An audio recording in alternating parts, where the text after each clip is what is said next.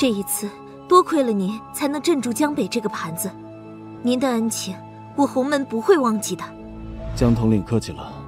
东南林家与洪门历来同气连枝，这点小忙算不了什么。可惜陈北玄竟然从炸弹之父下活了下来，导致我们这里的事业功亏一篑。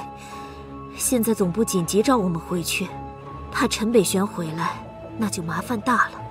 江统领大可放心，陈北玄想回来，至少得过血狼王那一关，那可是位神境强者。我们时间充足着呢。先生所言有理，等陈北玄回来，我们一回洪门，一回林家，谅那个陈北玄也不敢杀上洪门总部和林家山门。什么人？周天豪？是什么人？竟然杀了周天豪？恐怕是我们最担心的那个人来了。你就是林踏山，陈陈北玄，果然和林踏天长得很像。你是为林踏天报仇，所以来江北吗？林踏天叛楚家族，已经与我们林家一点关系都没有。尊敬的陈北玄阁下，我来江北这一年，未动陈家人一根毫毛。此来仅仅是受洪门会长的邀请罢了。你与洪门的恩怨，和我林家一点关系都没有。他倒是摘得干净。是啊，你没有伤我陈家一人，可是你却杀了我一个朋友。哦，是谁？徐耀。他，陈北玄阁下，我等都是武道宗师。那徐耀、周天豪等人，只是蝼蚁。这样的人，怎么能入你我的眼？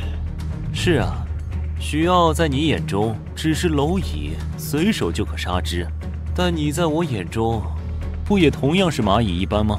阁下，您真的要为一个蝼蚁得罪我们东南林家吗？这林家很了不起吗？林塔山，你跑得掉吗？归元，飞飞剑，去。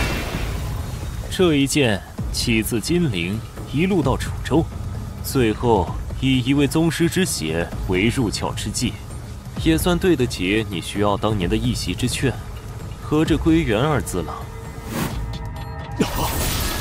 啊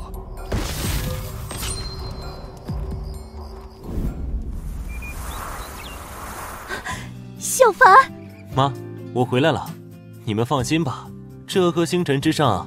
没人能伤到我的，别担心。小凡，咱们不修这个仙了，就守在江南，一家人安安稳稳过日子，好吗？妈，现在陈家所有人的命运都系于我一人身上。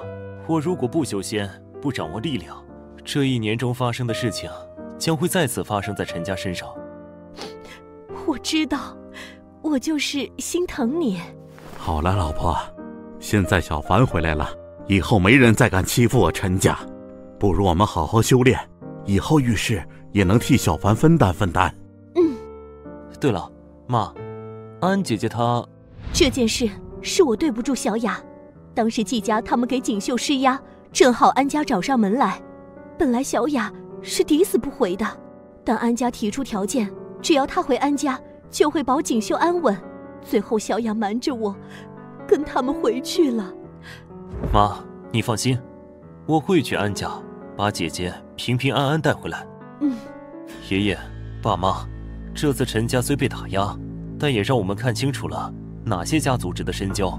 咱们可以定个章程，这一次只要是对我陈家好的，都要拉拢扶持；得罪不深的，逐个敲打一番再拉拢。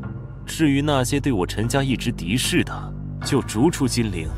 只有这样，才能在江南省。真正确立我陈家的地位，方家和苏家那方面，你准备怎么做？你离开这一年，小琼经常来登门安慰我们，明德和素素两口子也不时打电话过来。但是听说五州苏家那边似乎有悔婚的意思，苏家那个苏正德似乎又想和季家联系。哼，妈，我喜欢的是小琼，至于梧州苏家。他们要是自己找死，我也不会手下留情。只是我这一去就是一年多，一点消息都没有。不知道小琼会不会怪我？嗯，小琼，我特地跑过来陪你，是和你一起去找你老公的。你跑到图书馆来干嘛？我没让你来呀。而且既然他回来了，无论我在哪，小凡自然会找到我的。唉，消失了一年多，在所有人都以为他死了的时候，又蹦蹦跳跳的回来了。你是不知道整个金陵和江南被他闹成什么样子啊！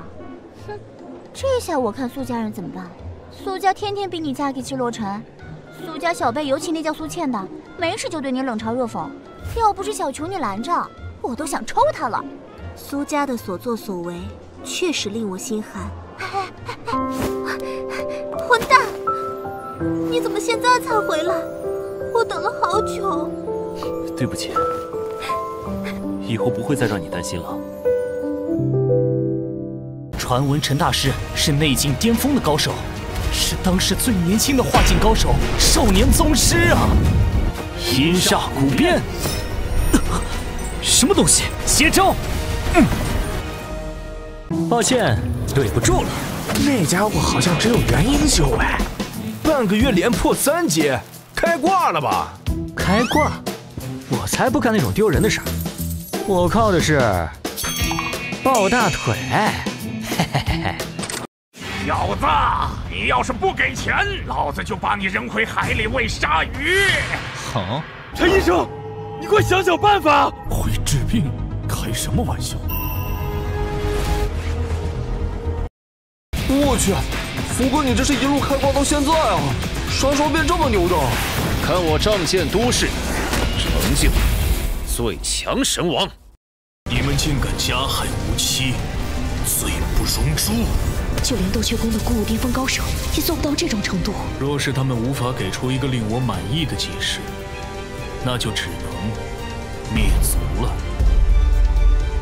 大祭司，他真的是预言之子吗？是说这个东西吗？跟本王手上的是一模一样的，为什么本王召唤出来的是一个废材人族啊？我老婆是魔王大人，每周五日上午十点更新，不要错过哟。